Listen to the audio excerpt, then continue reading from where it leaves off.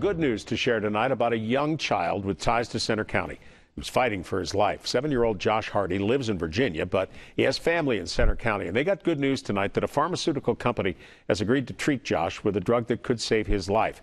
Six News reporter Lauren Hensley sat down with Hardy's uncle tonight and has more on that. Lauren?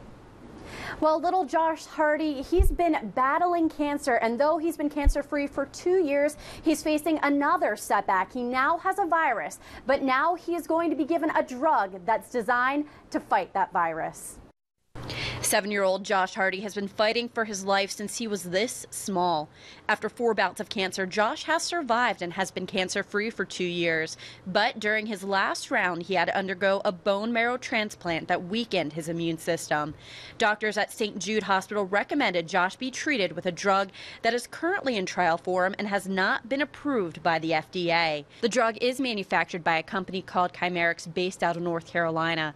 Josh's family was willing to do whatever they could to get Josh the drugs, so it began a social media campaign. The family has advocated for him, the community, near and far. Um, there are so many people that are out there to support Josh because no one should, you know, let a seven year old uh, fight alone. Tonight, the company agreed to move the development of the drug forward. In a statement, the company said, quote, Josh Hardy's story brought to the public attention the often devastating impact of virus infection and helped accelerate a discussion between the FDA and Chimerix regarding the need for additional clinical development. Once hashtagging Saves Josh, and it's just been um, amazing the outreach and the support of people near and far um, to help Josh get the uh, medication that he needs that can hopefully uh, help him fight this virus.